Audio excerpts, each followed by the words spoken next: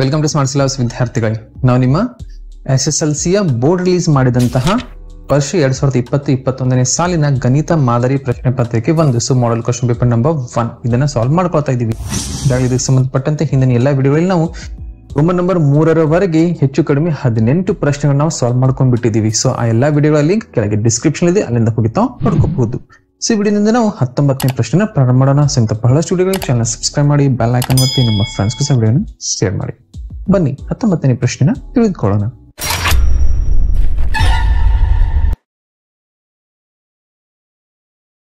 ವಿದ್ಯಾರ್ಥಿಗಳೇ, ಸಾವಿರದ ಇಪ್ಪತ್ತು, ಇಪ್ಪತ್ತೊಂದನೇ ಸಾಲಿನ ಗಣಿತ ಮಾದರಿ ಪ್ರಶ್ನೆ ಪತ್ರಿಕೆ ಒಂದು. ಸೊ ನಾವು ಎರಡು ಅಂಕದ ಪ್ರಶ್ನೆಗಳನ್ನ ಸಾಲ್ವ್ ಮಾಡ್ಕೊಳ್ತಾ ಇದ್ದೀವಿ. ಇದು ರೋಮನ್ ನಂಬರ್ ಮೂರಲ್ಲಿ ಬರುವಂತ ಒಂದು ಪ್ರಶ್ನೆಗಳು. ಸೊ ಹತ್ತೊಂಬತ್ತನೇ ಪ್ರಶ್ನೆ. ಬಿಡಿಸಿ ಅಂತ ಇಲ್ಲಿ ಎರಡು ಸರಳ ರೇಖಾತ್ಮಕ ಸಮೀಕರಣಗಳನ್ನ ನೀಡಲಾಗಿದೆ. ವಿದ್ಯಾರ್ಥಿಗಳ ಈಗಾಗಲೇ ಈ ಸರಳ ರೇಖಾತ್ಮಕ ಸಮೀಕರಣಗಳಿಗೆ ಸಂಬಂಧಪಟ್ಟಂತೆ ನಾವು ಎರಡು ಪ್ರಶ್ನೆಗಳನ್ನ ಸಾಲ್ವ್ ಮಾಡ್ಕೊಂಡ್ ಬಿಟ್ಟಿದೀವಿ ಸೊ ಒಂದು ಅಂಕದಲ್ಲಿ ಇದರ ಅರ್ಥ ಈಗಾಗಲೇ ಅಧ್ಯಾಯದಲ್ಲಿ ಎರಡು ಅಂಕದ ಪ್ರಶ್ನೆ ಈಗಾಗಲೇ ನಮಗೆ ದೊರೆತಿದೆ. ಸೊ ಇದು ಎರಡು ಅಂಕ. ಸೊ ಒಟ್ಟಾರೆಯಾಗಿ ಈಗ ನಾಲ್ಕು ಅಂಕದ ಪ್ರಶ್ನೆಗಳು ಈ ಅಧ್ಯಾಯದಿಂದ ಬಂದ್ಬಿಡ್ತು. ಇದೇ ರೀತಿ ವಿದ್ಯಾರ್ಥಿಗಳ ಇನ್ನೂ ಒಂದು ಗ್ರಾಫ್ ಇದೆ. ಸೊ ಅದನ್ನು ಸಹ ಈ ಅಧ್ಯಾಯದಿಂದ ಕೇಳುವಂತ ಹಂಡ್ರೆಡ್ ಪರ್ಸೆಂಟ್ ಕೇಳೇ ಕೇಳ್ತಾರೆ. ಸೊ ಇದರ ಅರ್ಥ ಹೆಚ್ಚು ಕಡಿಮೆ ಏಳರಿಂದ ಎಂಟು ಅಂಕಗಳು ಈ ಒಂದು ಅಧ್ಯಾಯದಿಂದ ನೋಡಿ. ಅದರಲ್ಲೂ ವಿದ್ಯಾರ್ಥಿಗಳೇ ಈ ಒಂದು ಬ್ಯಾಚ್ ಇದೆಲ್ಲ ನಿಮ್ಮ ಬ್ಯಾಚ್ ಎರಡ್ ಸಾವಿರದ ಇಪ್ಪತ್ತು, ಇಪ್ಪತ್ತೊಂದನೇ ಬ್ಯಾಚ್ ಇದು ಲಕ್ಕಿ ಬ್ಯಾಚ್ ಅಂತ ಹೇಳ್ಬಹುದು ಹೇಗಪ್ಪ ಅಂತಂದ್ರೆ ಈ ಒಂದು ಕೊಟ್ಟಂತ ಈ ಒಂದು ಸಮೀಕರಣಗಳನ್ನ ಬಿಡಿಸ್ಕೊಳ್ಳಿಕ್ಕೆ ವಿದ್ಯಾರ್ಥಿಗಳು ಕೇವಲ ಒಂದೇ ಒಂದು ಮೆಥಡ್ ಅನ್ನು ತಮಗೆ ಸ್ಕೂಲ್ನಲ್ಲಿ ಹಾಗೂ ಬೋರ್ಡ್ ಸಹ ನೀಡಿದೆ. ನಿಮ್ಮ ಟೆಕ್ಸ್ಟ್ ಬುಕ್ನಲ್ಲಿ ಈ ಒಂದು ಸೊಲ್ಯೂಷನ್ ಅನ್ನ. ಕಂಡುಹಿಡ್ಕೊಳ್ಳಿಕ್ಕೆ ಈ ಒಂದು ಸಮೀಕರಣ ಬಿಡಿಸ್ಕೊಳ್ಳಿಕ್ಕೆ ಮೂರು ಒಂದು ವಿಧಾನಗಳಿವೆ. ಒಂದು ಆದೇಶ ವಿಧಾನ, ಒಂದು ವರ್ಜಿಸುವ ವಿಧಾನ, ಮತ್ತೊಂದು ಗುಣಾಕಾರ ವಿಧಾನ. ಆದ್ರೆ ಬೋರ್ಡ್ನ ಪ್ರಕಾರ ಕೇವಲ ಬೋರ್ಡ್ನ ಪ್ರಕಾರ ಕೇವಲ ವರ್ಜಿಸುವ ವಿಧಾನವನ್ನು ತಾವಿಲ್ಲಿ ಯೂಸ್ ಮಾಡ್ಕೋಬೇಕು. ಸೊ ಒಂದೇ ಒಂದು ವಿಧಾನ ಸೊ ಹಂಡ್ರೆಡ್ ಪರ್ಸೆಂಟ್ ಅದನ್ನ ಕ್ಲಿಯರ್ ಮಾಡ್ಕೊಂಡೇ ಮಾಡ್ಕೋತೀರಂತ ನನ್ನ ಭರವಸೆ.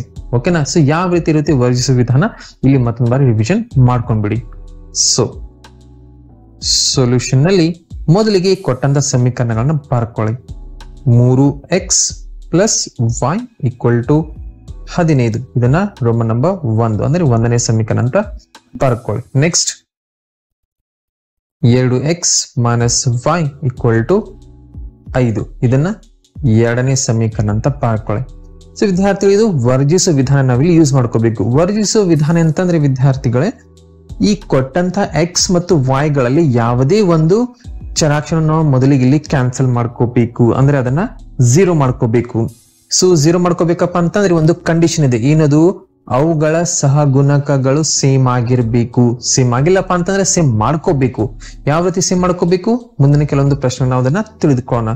ಸಿ ಒಂದು ಸಮಸ್ಯೆಯಲ್ಲಿ ವಿದ್ಯಾರ್ಥಿಗಳು ಮೊದಲಿಗೆ ಎಕ್ಸ್ನ ಸಹಗುಣಕನ ಚೆಕ್ ಮಾಡ್ಕೊಳ್ಳಿ. ಇಲ್ಲಿ ಎಕ್ಸ್ನ ಸಹಗುಣಕ ಮೂರು, ಇಲ್ಲಿ ಎಕ್ಸ್ನ ಸಹಗುಣಕ ಎರಡು. ಸೊ ಇಲ್ಲಿ ಮೂರು, ಎರಡು ಸೊ ಅರ್ಥ ಬೇರೆ ಬೇರೆ ಸಹಗುಣಕ ಹೊಂದಿವೆ. ಇವುಗಳನ್ನ ನಾವು ಕ್ಯಾನ್ಸಲ್ ಮಾಡ್ಕೊಳ್ಳಿಕ್ಕೆ ಸಾಧ್ಯವಿಲ್ಲ. ಹ, ಮಾಡ್ಕೋಬಹುದು, ಆದ್ರೆ ಈ ಒಂದು ಸಮಸ್ಯೆಯಲ್ಲಿ ಬೇಡ. ನೆಕ್ಸ್ಟ್ ಇಲ್ಲಿ ವಾಯ್ನ ಸಹಗುಣಕ ನೋಡಿ. ವಾಯ್ನ ಮುಂದೆ ಯಾವುದೇ ಸಂಖ್ಯೆ ಇಲ್ಲಪ್ಪ ಅಂತಂದ್ರೆ ಒಂದು. ಇಲ್ಲಿಯೂ ಸಹ ವಾಯ್ನ ಮುಂದೆ ಯಾವುದೇ ಸಂಖ್ಯೆ ಇಲ್ಲಪ್ಪ ಅಂತಂದ್ರೆ ಒಂದು. ಸೊ ಈ ಚರಾಕ್ಷರ ವಾಯ್ ಚರಾಕ್ಷರ ಎರಡು ಸಮೀಕರಣಗಳಲ್ಲಿ ಒಂದೇ ಸಹಗುಣಕ ಹೊಂದಿದೆ. ಸೊ ನಾವಿದನ್ನ ಈಸಿಯಾಗಿ ಕ್ಯಾನ್ಸಲ್ ಮಾಡ್ಕೋಬಹುದು. ಕ್ಯಾನ್ಸಲ್ ಮಾಡ್ಕೊಳ್ಲಿಕ್ಕೂ ಸಹ ಒಂದು ಇಂಪಾರ್ಟೆಂಟ್ ಸ್ಟೆಪ್ ಇದೆ. ಅದೇನಪ್ಪಾ ಅಂತಂದ್ರೆ ಚಿಹ್ನೆ ಗಮನಿಸಿ. ಇದು ಪ್ಲಸ್ ಅನ್ನ ಹೊಂದಿದೆ, ಇದು ಮೈನಸ್ ಅನ್ನ ಹೊಂದಿದೆ. ಸೊ ಈ ರೀತಿ ಅಪೋಸಿಟ್ ಚಿಹ್ನೆ ಹೊಂದಿದಾಗ ಸಮೀಕರಣ ಒಂದು ಮತ್ತು ಸಮೀಕರಣ ಎರಡನ್ನ ಕೂಡಿಸಿ ಅಂತ ತಾವಿಲ್ಲಿ ಬರ್ಕೋಬೇಕು. ಅದೇನಾದ್ರೂ ಎರಡು ಚಿಹ್ನೆಗಳು ಸೇಮ್ ಆಗಿದ್ರೆ ಹಾಗೂ ಇವುಗಳ ಸಹಗುಣಕಗಳು ಸಹ ಸೇಮ್ ಆಗಿದ್ರೆ ಆವಾಗ ಎರಡು ಸಮೀಕರಣಗಳನ್ನ ಮೈನಸ್ ಮಾಡ್ಕೋಬೇಕು. ಸೊ ನೆನಪಿಟ್ಕೊಳ್ಳಿ ಪಾಯಿಂಟ್ ಅನ್ನ. ಸೇಮ್ ಚಿಹ್ನೆ ಇದ್ರೆ ಮೈನಸ್ ಮಾಡ್ಕೋಬೇಕು. ಬೇರೆ ಚಿಹ್ನೆ ಇದ್ರೆ ಪ್ಲಸ್ ಮಾಡ್ಕೋಬೇಕು. ಓಕೆ ಸೊ ಸಮೀಕರಣ ಒಂದು ಪ್ಲಸ್ ಸಮೀಕರಣ ಎರಡು. ಮಾಡ್ಕೊಂಡ್ ಬಿಡೋಣ. ಯಾಕಂದ್ರೆ ಅಪೋಸಿಟ್ ಚಿಹ್ನೆ ಇವೆ. ಇದು ಮೂರು X plus Y equal to ಹದಿನೈದು. ನೆಕ್ಸ್ಟ್ ಇದು ಎರಡು X minus Y equal to ಐದು. ಓಕೆ ಇವೆರಡನ್ನ ಈಗ ಪ್ಲಸ್ ಮಾಡ್ಕೋಣ ಹಾ ಪ್ಲಸ್ ಮಾಡುವಾಗ ಇಲ್ಲಿ ಕೆಳಗಿನ ಚಿಹ್ನೆ ಚೇಂಜ್ ಆಗೋದಿಲ್ಲ ಕೇವಲವು ಮೈನಸ್ ಇದ್ದಾಗ ಮಾತ್ರ ಚೇಂಜ್ ಆಗ್ತವೆ. ನೆನಪಿಟ್ಕೊಳ್ಳಿ. ಓಕೆ ಮೂರು ಎಕ್ಸ್ ಪ್ಲಸ್ ಎರಡು ಎಕ್ಸ್ ಎಷ್ಟಾಯ್ತು ಒಟ್ಟಾರೆಯಾಗಿ? ಇದು ಐದು X plus Y minus Y so same ಒಂದು ಅಕ್ಷರ, ಚರಾಕ್ಷರ ಮತ್ತು ಅಪೋಸಿಟ್ ಚಿಹ್ನೆ ಅಂದಾಗ ಇವು ಕ್ಯಾನ್ಸಲ್ ವಿದ್ಯಾರ್ಥಿ ನೆನಪಿಟ್ಕೊಂಡ್ಬಿಡಿ ನೆಕ್ಸ್ಟ್ ಹದಿನೈದು ಪ್ಲಸ್ ಐದು. ಎಷ್ಟಾಯ್ತು? ಇದು ಇಪ್ಪತ್ತು. ಸೊ ಐದು ಎಕ್ಸ್ ಇಕ್ವಲ್ ಟು ಇಪ್ಪತ್ತು. ಹಾಗಾದ್ರೆ ಎಕ್ಸ್ ಈಕ್ವಲ್ ಟು ಇಪ್ಪತ್ತು ಹಾಗಿರ್ಲಿ. ಐದನ್ನ ಓರಿ ಗುಣಾಕಾರ ಮಾಡಿಸು ಅಪಾನ್ ಐದು. ಐದರ ಮಗೆಯಲ್ಲಿ ಐದು ಒಂದರಿಂದ ಇಪ್ಪತ್ತು ನಾಲ್ಕರಿಂದ. ಇದರ ಅರ್ಥ ಎಕ್ಸ್ ಈಕ್ವಲ್ ಟು ನಾಲ್ಕು. ಸೊ ಇದು ಎಕ್ಸ್ನ ಬೆಲೆ. ನೋಡಿ, ಎಷ್ಟು ಈಸಿಯಾಗಿ ಬಂದ್ಬಿಡ್ತು. ಈಗ ಎಕ್ಸ್ನ ಬೆಲೆ ನಾಲ್ಕು, ಆದರೆ y ನ ಬೆಲೆ ಎಷ್ಟು ಅಂತ ನಾವು ಇಲ್ಲಿ ಕಂಡುಕೋಬೇಕು ಅದಕ್ಕಾಗಿ ವಿದ್ಯಾರ್ಥಿಗಳು ತಾವು ಇಕ್ವೇಶನ್ ಅಂದ್ರೆ ಈ ಸಮೀಕರಣ ಒಂದನ್ನು ಉಪಯೋಗ ಮಾಡ್ಕೊಳ್ಳಿ ಅಥವಾ ಸಮೀಕರಣ ಎರಡನ್ನು ಉಪಯೋಗ ಮಾಡ್ಕೊಳ್ಳಿ. ಯಾವುದೇ ಸಮೀಕರಣ ಉಪಯೋಗ ಮಾಡ್ಕೊಂಡ್ರೆ ಸಹ ತಮಗೆ ಎಕ್ಸ್ನ ಬೆಲೆ ಈಸಿಯಾಗಿ ದೊರೆಯುವುದು. ಓಕೆ ನಾನು ಏನ್ ಮಾಡ್ತೀನಿ? ಈ ಒಂದು ಮೊದಲನೇ ಸಮೀಕರಣ ಉಪಯೋಗ ಮಾಡ್ಕೊಳ್ತೀನಿ. ಸೊ ರಾಮ್ ಒನ್ ಮೊದಲನೇ ಸಮೀಕರಣದಿಂದ ಏನದು ಸಮೀಕರಣ? ಮೂರು X plus Y equal to ಹದಿನೈದು. ಸಿ ಮೂರನ್ನು ಹಾಗೆ ಬರ್ಕೊಳ್ಳಿ. ಎಕ್ಸ್ ಅಂದ್ರೆ ಈಗಾಗಲೇ ಹತ್ರ ಅದರ ಬೆಲೆ ಇದೆ. ಅದು ನಾಲ್ಕು. ಸೊ ಗುಣಾಕಾರ ನಾಲ್ಕು. ಬ್ರಾಕೆಟ್ ಅಂದ್ರೆ ಗುಣಾಕಾರ. ಪ್ಲಸ್ ಫೈವ್ ಈಕ್ವಲ್ ಟು ಹದಿನೈದು. ಸೊ ನಾಲ್ಕು ಗುಣಾಕಾರ ಮೂರು, ಇದು ಹನ್ನೆರಡು. ಪ್ಲಸ್ ಫೈವ್ ಈಕ್ವಲ್ ಟು ಹದಿನೈದು. ಸೊ ಫೈವ್ ಈಕ್ವಲ್ ಟು ಹದಿನೈದು.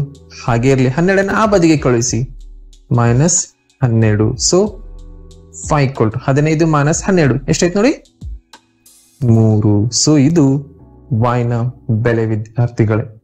ಹಾ, ಈ ಒಂದು ಬಿಡಿಸಿ ಅನ್ನುವಂತ ಈ ಒಂದು ಸರಳ ರೇಖಾತ್ಮಕದ ಸಮಸ್ಯೆಗಳಿವೆಲ್ಲ ವಿದ್ಯಾರ್ಥಿ ಇದೊಂದು ರೀತಿ ಬೋನಸ್ ಕ್ವಶನ್ ನೋಡಿ. ಯಾಕಪ್ಪ ಅಂತಂದ್ರೆ ಇಲ್ಲಿ ಆನ್ಸರ್ ಅನ್ನ ಕಂಡು ಹಿಡ್ಕೊಂಡ್ಮೇಲೆ ತಾವು ತಮ್ಮ ಆನ್ಸರ್ ಸರಿನೋ ತಪ್ಪು ಅನ್ನೋದನ್ನ ಈಸಿಯಾಗಿ ಚೆಕ್ ಮಾಡ್ಕೋಬಹುದು ಹಾ, ತಾವು ಚೆಕ್ ಮಾಡ್ಕೊಳ್ಳೇಬೇಕು ಯಾಕಪ್ಪ ಅಂತಂದ್ರೆ ಇದೊಂದು ಇಂತಹ ಪ್ರಶ್ನೆಗಳು ಹೆಚ್ಚಾಗಿ ತಮ್ಮ ಕ್ವಶನ್ ಪೇಪರ್ನಲ್ಲಿ ಇರೋದಿಲ್ಲ. ಅದಕ್ಕಾಗಿ ಆನ್ಸರ್ನ ಚೆಕ್ ಮಾಡ್ಕೊಳ್ಳಿ. ಹೇಗಪ್ಪ ಆನ್ಸರ್ ಚೆಕ್ ಮಾಡ್ಕೊಳ್ಳೋದು? ಯಾವುದೇ ಒಂದು ಸಮೀಕರಣ ನೋಡಿ. ಫಾರ್ ಎಕ್ಸಾಂಪಲ್ ಇದು. ಎರಡು X minus Y equal to ಐದು. ಇಲ್ಲಿ ಎಕ್ಸ್ನ ಬೆಲೆ ಮತ್ತು ವೈ ನ ಬೆಲೆನ ತುಂಬಿ. ಉತ್ತರ ಐದು ಬರುವುದೇ. ಚೆಕ್ ಮಾಡ್ಕೊಳ್ಳಿ. ಸೊ ಇಲ್ಲಿ ನೋಡಿ ಎಕ್ಸ್ ಅಂದ್ರೆ ನಾಲ್ಕು. ಸೊ ನಾಲ್ಕು ಗುಣಾಕಾರ ಎರಡು. ನಾಲ್ಕು ಗುಣಾಕಾರ ಎರಡು, ಇದು ಎಂಟು ಮೈನಸ್ ವೈ ಅಂದರೆ ಮೂರು. ಸೊ ಎಂಟು ಮೈನಸ್ ಮೂರು ಈಕ್ವಲ್ ಟು ಐದು. ನೋಡಿ ಬಂದ್ಬಿಡ್ತಲ್ಲ ಅದೇ ರೀತಿ ಇಲ್ಲಿಯೂ ಸಹ ಚೆಕ್ ಮಾಡ್ಕೋಬಹುದು. ಎಕ್ಸ್ ಅಂದರೆ ನಾಲ್ಕು. ಸೊ ನಾಲ್ಕು ಗುಣಾಕಾರ ಮೂರು, ಹನ್ನೆರಡು. ವೈ ಅಂದರೆ ಮೂರು, ಹನ್ನೆರಡು ಪ್ಲಸ್ ಮೂರು, ಹದಿನೈದು. ಸೊ ನೋಡಿ, ಎರಡೂ ಒಂದು ಸಮೀಕರಣಗಳಲ್ಲಿ ಎಕ್ಸ್ನ ಮತ್ತು ವೈ ನ ಬೆಲೆಗಳು ಮ್ಯಾಚ್ ಆಗ್ತಾ ಇವೆ. ಇದರ ಅರ್ಥ ತಾವು ಕಂಡು ಹಿಡಿದಂತ ಉತ್ತರ ಹಂಡ್ರೆಡ್ ಪರ್ಸೆಂಟ್ ಕರೆಕ್ಟ್ ಸೊ ತಾವು ರೀತಿ ಚೆಕ್ ಮಾಡ್ಕೊಳ್ಳೇಬೇಕು. ಅಂದಾಗ ತಮಗಿದು ಈಸಿಯಾಗಿ ಅರ್ಥ ಆಗುವುದು. ಸೊ ಇದು ರೋಮನ್ ನಂಬರ್ ಮೂರರ ಹತ್ತೊಂಬತ್ತನೇ ಪ್ರಶ್ನೆ. ಸೊ ಮೋಸ್ಟ್ಲಿ ತಮಗೆಲ್ಲ ಕ್ಲಿಯರ್ ಆಗಿರ್ಬೋದು. ಮತ್ತೊಂದು ಬಾರಿ ಹೇಳ್ತೀನಿ, ಕೇವಲ ವರ್ಜಿಸುವ ವಿಧಾನವನ್ನ ನಿಮ್ಮ ಈ ಒಂದು ಸಾಲಿನ ಎರಡ್ ಸಾವಿರದ ಇಪ್ಪತ್ತು, ಇಪ್ಪತ್ತೊಂದನೇ ಸಾಲಿಗೆ ಮಾತ್ರ ಇಡಲಾಗಿದೆ ಸೊ ಅದೇ ಒಂದು ಮೆಥಡ್ ಇಂದ ತಾವು ಪ್ರಾಕ್ಟೀಸ್ ಮಾಡ್ಕೊಂಡ್ಬಿಡಿ. ಇದು ಹತ್ತೊಂಬತ್ತನೇ ಪ್ರಶ್ನೆ. ನೆಕ್ಸ್ಟ್ ಇಪ್ಪತ್ತನೇ ಪ್ರಶ್ನೆ. ವಿದ್ಯಾರ್ಥಿಗಳೇ, ಇಪ್ಪತ್ತನೇ ಪ್ರಶ್ನೆ. ವರ್ಗ ಸಮೀಕರಣದ ಸೂತ್ರನ ಉಪಯೋಗಿಸಿ ಈ ಒಂದು ಸಮಸ್ಯೆ ಅಂದ್ರೆ ಈ ಒಂದು ಸಮೀಕರಣ ಬಿಡಿಸಿ ಅಂತ ಹೇಳಿ ಕೇಳಲಾಗಿದೆ. ಸೊ ವಿದ್ಯಾರ್ಥಿಗಳಿಗೆ ಮತ್ತೊಂದು ಹಂಡ್ರೆಡ್ ಪರ್ಸೆಂಟ್ ಕ್ವಶನ್ ಸೊ ಇದು ಎಕ್ಸಾಮ್ನಲ್ಲಿ ಕೇಳೇ ಕೇಳುವಂತ ಹಂಡ್ರೆಡ್ ಪರ್ಸೆಂಟ್ ಕ್ವಶನ್ ಹಾ ಈ ಸಮೀಕರಣ ಚೇಂಜ್ ಆಗಬಹುದು ಆದರೆ ಸೂತ್ರನ ಉಪಯೋಗಿಸಿ ಬಿಡಿಸುವಂತ ಈ ಒಂದು ಸಮಸ್ಯೆ ಹಂಡ್ರೆಡ್ ಪರ್ಸೆಂಟ್ ಕ್ವಶನ್ ತಾವು ಹಿಂದಿನ ತಮ್ಮೊಂದು ಸಿಲೆಬಸ್ ಅಷ್ಟೆಲ್ಲ ಹಿಂದಿನ ಹಳೆ ಸಿಲೆಬಸ್ ಯಾವುದೇ ಒಂದು ಕ್ವಶನ್ ಪೇಪರ್ ಎತ್ಕೊಂಡು ನೋಡಿ, ಅದರಲ್ಲಿ ಈ ಒಂದು ಕ್ವಶನ್ ಹಂಡ್ರೆಡ್ ಪರ್ಸೆಂಟ್ ಇದ್ದೇ ಇದೆ. ಸೊ ಈ question hundred percent question so hundred percent ತಾವು ಇದನ್ನ ಪ್ರಾಕ್ಟೀಸ್ ಮಾಡ್ಕೊಳ್ಳೇಬೇಕು. ಸೊ ಸೊಲ್ಯೂಷನ್ ಸೊ ಕೊಟ್ಟಂತ ಒಂದು ಸಮೀಕರಣ ಬರ್ಕೊಳ್ಳಿ. ಎಕ್ಸ್ ಸ್ಕ್ವೇರ್ ಮೈನಸ್ ಮೂರು ಎಕ್ಸ್ ಪ್ಲಸ್ ಒಂದು ಈಕ್ವಲ್ ಟು ಝೀರೋ ಸೊ ಇಲ್ಲಿ ವಿದ್ಯಾರ್ಥಿಗಳೇ, ಇದನ್ನ ಆದರ್ಶ ರೂಪದೊಂದಿಗೆ, ಅಂದ್ರೆ ವರ್ಗ ಸಮೀಕರಣದ ಆದರ್ಶ ರೂಪದೊಂದಿಗೆ ಇದನ್ನ ಹೋಲಿಸಿ ನಾವು ಇಲ್ಲಿ ಎ ಬಿ ಸಿ ಯ ಬೆಲೆಗಳನ್ನ ಬರ್ಕೋಬೇಕು. ಸೊ ಇಲ್ಲಿ ಎಕ್ಸ್ ಸ್ಕ್ವೇರ್ನ ಮುಂದೆ ಯಾವುದೇ ಸಂಖ್ಯೆ ಇಲ್ಲಪ್ಪ ಅಂತಂದ್ರೆ ಅದು ಒಂದು. ಸೊ ಇಲ್ಲಿ ಎ ನ ಬೆಲೆಯು ಒಂದು.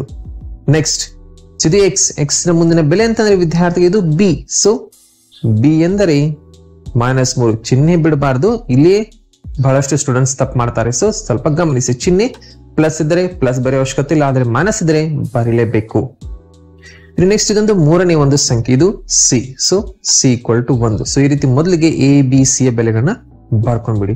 ಈಗ ಈ ವರ್ಗ ಸಮೀಕರಣದ ಸೂತ್ರವನ್ನು ಇಲ್ಲಿ ಬರ್ಕೊಳ್ಳೋದು ತುಂಬಾ ಇಂಪಾರ್ಟೆಂಟ್ ಸೊ ಏನಪ್ಪಾ ಸೂತ್ರ? ಸೊ ಸೂತ್ರ X is equal to minus B plus minus root four A C upon two A so ಇದು ನೋಡಿ ವರ್ಗ ಸಮೀಕರಣದ ಒಂದು ಸೂತ್ರ. Minus B plus minus root B square minus four A C upon two A so ಈ ಸೂತ್ರ ತಮಗೆ ಚೆನ್ನಾಗಿ ಬರ್ತಿರ್ಬೇಕು. ಹಾ. ಎಷ್ಟೋ ವಿದ್ಯಾರ್ಥಿಗಳು ಅಪೋನ್ ಒಂದು ರೇಖೆ ಇದೆಯಲ್ಲ ಇಲ್ಲಿ ಕೇವಲ ಇದನ್ನ ಈ ರೂಟ್ ಇಂದ ಸ್ಟಾರ್ಟ್ ಮಾಡ್ತಾರೆ. ಅದು ತಪ್ಪು. ಕಂಪ್ಲೀಟ್ ಆಗಿ ತಾವು ಈ ಒಂದು ಲೈನ್ ಅನ್ನ ಎಳೆದ್ಕೋಬೇಕು. ಓಕೆನಾ ಈಗ ಈ ಎ ಬಿ ಸಿ ಬೆಲೆಗಳನ್ನ ಇಲ್ಲಿ ಆದೇಶಿಸಿ ಉತ್ತರನ ಕಂಡುಹಿಡ್ಕೊಂಡ್ಬಿಡಿ ಎಕ್ಸ್ ಈಕ್ವಲ್ ಟು ಮೈನಸ್ ಹಾಗೆ ಇರ್ಲಿ. ಬಿ ಅಂದರೆ ಮೈನಸ್ ಮೂರು. ಹಾ, ಮೂರರ ಮುಂದೆ ಈಗಾಗಲೇ ಒಂದು ಮೈನಸ್ ಇದೆ ಅಂತ ಹೇಳಿ ಈ ಮೈನಸ್ ಅನ್ನ ಬಿಡಬಾರ್ದು. ಈ ಮೈನಸ್ ಮೂರನ್ನು ಸಹ ತಾವಿಲ್ಲಿ ಬರ್ಕೋಬೇಕು. ಇದು ತುಂಬಾ ಇಂಪಾರ್ಟೆಂಟ್ ನೋಡಿ. ಪ್ಲಸ್ ಆರ್ ಮೈನಸ್ ವರ್ಗಮೂಲ ಬಿ ಎಂದರೆ ಮೈನಸ್ ಮೂರು. ಸೊ ಮೈನಸ್ ಮೂರು ಸ್ಕ್ವೇರ್ ಮೈನಸ್ ನಾಲ್ಕು ಹಾಗೆ ಇರಲಿ. ಗುಣಾಕಾರ. ಎ ಅಂದ್ರೆ ಎಷ್ಟು ನೋಡಿ? ಅದು ಒಂದು ಗುಣಾಕಾರ. ಸಿ ಅಂದ್ರೆ ಎಷ್ಟು ನೋಡಿ? ಅದು ಒಂದು. ಸೊ ಈ ನಾಲ್ಕು, ಎ ಮತ್ತು ಸಿ ಗಳ ಮಧ್ಯೆ ಗುಣಾಕಾರ ಚಿಹ್ನೆ ಇದೆ. ಅದಕ್ಕಾಗಿ ಇದನ್ನ ಗುಣಾಕಾರ ಹಾಕಿ ಬರ್ಕೊಂಡ್ ಬಿಡಿ. ಹಾ, ಇದೇ ರೀತಿ ಕ್ಲಿಯರ್ ಬರ್ಕೊಳ್ಳಿ. ನೆಕ್ಸ್ಟ್ ಅಪಾನ್ ಎರಡು. ಎ ಎಂದರೆ ಒಂದು. ಸೊ ಎರಡು ಮತ್ತು ಎಗಳ ಮಧ್ಯೆ ಗುಣಾಕಾರ ಚಿಹ್ನೆ. ಸೊ ಗುಣಾಕಾರ ಒಂದು. ಸೊ ಇದು ನೋಡಿ ಫಸ್ಟ್ ಇಂಪಾರ್ಟೆಂಟ್ ಸ್ಟೆಪ್ ಎಲ್ಲಾ ಬೆಲೆಗಳನ್ನ ಸರಿಯಾಗಿ ತಾವಿಲ್ಲಿ ಬರ್ಕೋಬೇಕು. Next X equal to okay ಈಗ ಈ ಬ್ರಕೆಟ್ ಅನ್ನು ಓಪನ್ ಮಾಡ್ಕೋಬೇಕು. ಬ್ರಕೆಟ್ ಅನ್ನು ಓಪನ್ ಮಾಡ್ಕೋಬೇಕಪ್ಪ ಅಂತಂದ್ರೆ ಹೊರಗಿನ ಚಿಹ್ನೆ, ಒಳಗಿನ ಚಿಹ್ನೆ ಗುಣಾಕಾರ ಮಾಡ್ಕೋಬೇಕು. Minus into minus plus so ಇದು ಪ್ಲಸ್ ಮೂರು. ಪ್ಲಸ್ ಆರ್ ಮೈನಸ್ ಹಾಗೆ ಇರ್ಲಿ. ವರ್ಗಮೂಲ. ಮೈನಸ್ ಮೂರನ್ನ ಸ್ಕ್ವೇರ್ ಮಾಡ್ಕೊಳ್ಳಿ. ಸೊ ಮೈನಸ್ ಮೂರ ಸ್ಕ್ವೇರ್ ಅಂದ್ರೆ ವಿದ್ಯಾರ್ಥಿ ಇಲ್ಲಿ ನೋಡಿ ಮೈನಸ್ ಮೂರು ಇಂಟು ಮೈನಸ್ ಮೂರು equal to minus into minus ಇದು ಪ್ಲಸ್ ಮೂರು ಗುಣಾಕಾರ ಮೂರು, ಇದು ಒಂಬತ್ತು. ಸೊ ಇದು ಪ್ಲಸ್ ಒಂಬತ್ತು. ಸೊ ಜಸ್ಟ್ ಒಂಬತ್ತನ್ನ ಬರ್ಕೊಂಡ್ಬಿಡಿ ಸಾಕು. ಮೈನಸ್ ನಾಲ್ಕು ಗುಣಾಕಾರ ಒಂದು ಗುಣಾಕಾರ ಒಂದು. ನಾಲ್ಕು ಗುಣಾಕಾರ ಒಂದು, ನಾಲ್ಕು ಇಂಟು ಒಂದು ಇದು ಮತ್ತೆ ನಾಲ್ಕು. ಅಪ್ಪೋನ್ ಎರಡು ಗುಣಾಕಾರ ಒಂದು, ಇದು ಜಸ್ಟ್ ಎರಡು. ಆದ್ದರಿಂದ ಎಕ್ಸ್ ಈಕ್ವಲ್ ಟು ಮೂರನ್ನ ಹಾಗೆ ಬರ್ಕೊಳ್ಳಿ.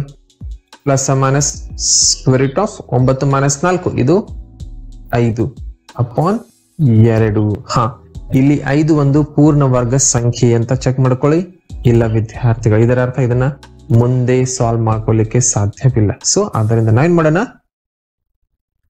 ಎಕ್ಸ್ ಈಕ್ವಲ್ ಟು ಮೂರು ಪ್ಲಸ್ ಮೈನಸ್ ಬರ್ಕೊಬೇಡಿ ಜಸ್ಟ್ ಪ್ಲಸ್ ಬರ್ಕೊಳ್ಳಿ. ವರ್ಗಮೂಲ ಐದು ಅಪಾನ್ ಎರಡು. ಅಥವಾ ಇನ್ನೊಂದು ಬೆಲೆ. ಎಕ್ಸ್ ಈಕ್ವಲ್ ಟು ಮೂರನ್ನ ಹಾಗೆ ಬರ್ಕೊಳ್ಳಿ. ಆದ್ರೆ ಈ ಬಾರಿ ಪ್ಲಸ್ ಬರ್ಕೋಬಿಡಿ ಮೈನಸ್ ಬರ್ಕೊಳ್ಳಿ ಸೊ ನೋಡಿ, ಇಷ್ಟೇ ವ್ಯತ್ಯಾಸ. ಒಂದ್ ಬಾರಿ ಪ್ಲಸ್ ಒಂದ್ ಬಾರಿ ಮೈನಸ್ ಸೊ ವರ್ಗಮೂಲ ಐದು ಅಪಾನ್ ಎರಡು. ಸೊ ಈ ರೀತಿ ವಿದ್ಯಾರ್ಥಿ ತಮಗೆ ಎರಡು ಮೂಲಗಳು ದೊರೆಯಲೇಬೇಕು. ಏಕೆಂದ್ರೆ ಇದು ವರ್ಗ ಸಮೀಕರಣಗಳು. ವರ್ಗ ಸಮೀಕರಣ ಯಾವಾಗ್ಲೂ ಎರಡು ಮೂಲಗಳು, ಅಂದ್ರೆ ಎರಡು ಉತ್ತರಗಳನ್ನು, ಎರಡು ಪರಿಹಾರಗಳನ್ನ ಹೊಂದಿರುತ್ತವೆ. ಸೊ ಇದು ಒಂದು ಹಂಡ್ರೆಡ್ ಪರ್ಸೆಂಟ್ ಕ್ವಶನ್ ವಿದ್ಯಾರ್ಥಿ. ಸೊ ಚೆನ್ನಾಗಿ ಪ್ರಾಕ್ಟೀಸ್ ಮಾಡ್ಕೊಳ್ಳಿ. ಸೊ ಇದು ನಿಮ್ಮ ಇಪ್ಪತ್ತನೆಯ ಪ್ರಶ್ನೆ. ಸೊ ನಾವು ಮತ್ತೆ ಈ ವಿಡಿಯೋನ ಇಲ್ಲಿ ಸ್ಟಾಪ್ ಮಾಡೋಣ. ಸೊ ಎರಡು ಪ್ರಶ್ನೆ ನಾವು ಈ ವಿಡಿಯೋದಲ್ಲಿ ಬಿಡಿಸ್ಕೊಂಡಿದ್ವಿ ಇಪ್ಪತ್ತೊಂದನೇ ಪ್ರಶ್ನೆನ ಮುಂದಿನ ವಿಡಿಯೋದಿಂದ ಕಂಟಿನ್ಯೂ ಮಾಡೋಣ. ಸೊ ಬಹಳಷ್ಟು ವಿಡಿಯೋಗಾಗಿ ಚಾನಲ್ ಸಬ್ಸ್ಕ್ರೈಬ್ ಮಾಡಿ ಬೆಲ್ ಐಕನ್ ಮತ್ತೆ ನಿಮ್ಮ ಫ್ರೆಂಡ್ಸ್ಗೆ ಸಹ ವಿಡಿಯೋನ ಶೇರ್ ಮಾಡಿ. ಮತ್ತೆ ಭೇಟಿಯಾಗೋಣ ಮುಂದಿನ ವಿಡಿಯೋದಲ್ಲಿ. ಅಲ್ಲಿವರೆಗೆ ಚೆನ್ನಾಗಿ ಓದಿ, ಚೆನ್ನಾಗಿ ಅಭ್ಯಾಸ ಮಾಡಿ.